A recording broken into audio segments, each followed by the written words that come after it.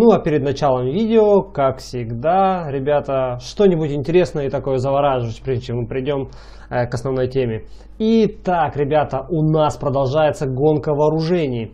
Сейчас э, на экран по одному, короче, я буду выводить питомцы, ну или как-нибудь все попытаюсь разместить. В общем, ситуация очень интересная, ребята, получается. Э, после, видимо, разоблачающих э, наших видео, потому что все ребята, кто делали обзор, короче, на Мару, то есть вообще как таковую, все, короче, ее обхаяли. То есть потому что это как бы ненужный и непонятный питомец, а он, короче, никому не нужен. После этого э, мы, короче, ждали, что он типа нафиг, никто, короче, не этовается сильно. Но, ребята, если вы посмотрите на начальные характеристики, вот э, посмотрим, даже сравнить с Фрэнком. Фрэнки на базовом, э, получается, уровне, на, ну, получается, на 30 уровне Фрэнки плюс 12, сила 26 тысяч. Это базовая сила. Если взять Мару на базовом уровне плюс 11, получается, а у нее сила уже 29. Это просто базовая ее сила. Давайте возьмем ловкость Мары, 30 тысяч ловкость ее. Получается, эта ловкость 30 тысяч более-менее подходит э, под Дракулу плюс 16. Вы представьте, какая разница. Это просто колоссально. Это мало того, что сильный питомец, э, как э, ударный получается э, наш Фрэнки, такой же верткий, как Дракула. Так это еще мало того, ребята, давайте посмотрим. Самый живучий из всех наших питомцев это пенек. У него 11 тысяч жизней на плюс 10 уровне. Давайте посмотрим Мару. У нее 16 тысяч. Ребята, 16 тысяч. Даже Фрэнки не дотягивал до пенька. То есть у него всего 9 тысяч было на плюс 12 уровне. То есть мы, они, короче, Мару сделали просто тупо имбовым питомцем. То есть это и сильный питомец, и ловкий, и живучий. Вот я теперь думаю, ребята, кого мне выбросить? Из этого. То есть, э, реально, короче, я не собираю питомцев э, атакующих, а тут у меня просто выбора нету, короче. Мне придется кого-то из них выбрасывать из клетки. Потому что Мара сейчас будет бить вообще просто жесть. Она сильнее меня сейчас лупить будет. Если сейчас я на нее два аркона поставлю, то есть я ее вытащу, и все, Короче, жизнь прекрасна и удивительна. Короче, опять разрабы накрутили. Блин. Ладно, короче, буду думать там уже по ходу дела. Ну, как бы... Ну, теперь к веселым песенкам и обновлению.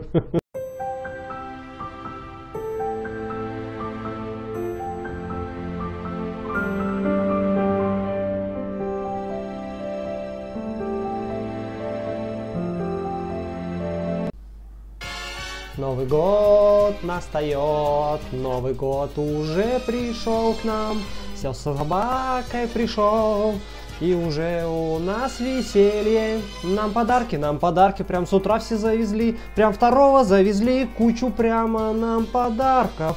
Завезли, завезли. Ну давайте мы, ребята, покупаем быстро бумер.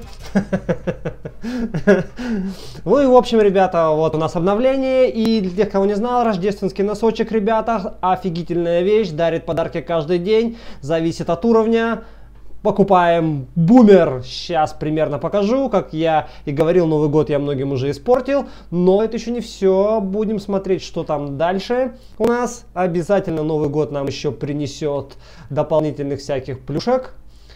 И того подарки у нас обновились. Ребята, сразу говорю, Мара э, это имбовый питомец, на начальных настройках которых он был, ребята, у отморозков он был в фиговом виде.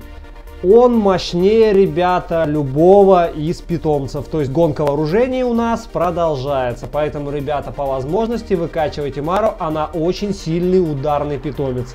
Можно выбросить любого из питомцев, какого-нибудь слабенького, э, ну, который у вас есть, допустим, шестого уровня. Допустим, тот же самый Таргон нахер больше не нужен.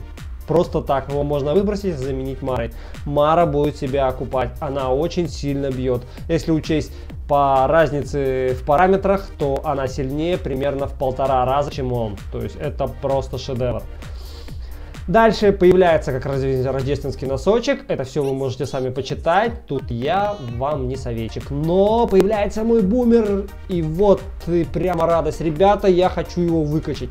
Я уже очень много влил, короче, в него звезд. Я влил в него очень много рубинов. Все, которые у меня тут большинство были. Я очень хочу себе эту тачку. Прошу вас, э, как истинных любителей медицинских учреждений, помочь человеку вычить эту рынку. У меня сейчас 20 больших, тут 14 мелких подарков. Ну, не мелких, имею в виду средних. вот. Дальше у меня еще это. Все я выкупил, кстати, за мандарины, ребята. Я всю ту коллекцию полностью выкупил. Эту уже тоже забрал. И осталось тут еще немножко, и я буду продолжать бить мандарины.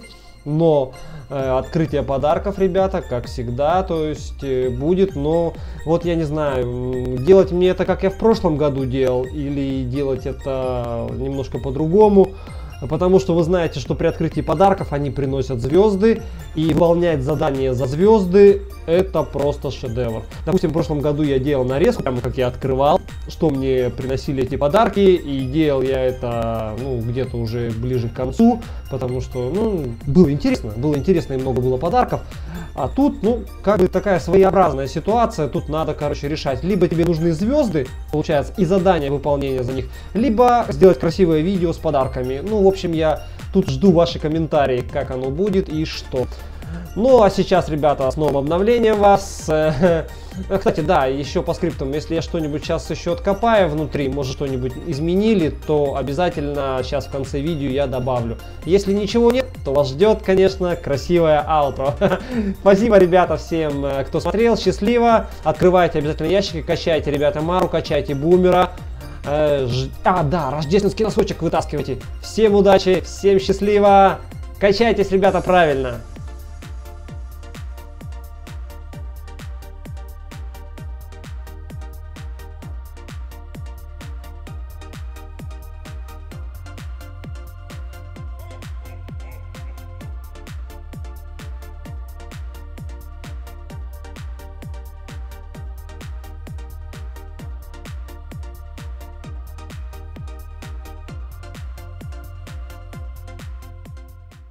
It went oh, oh, oh.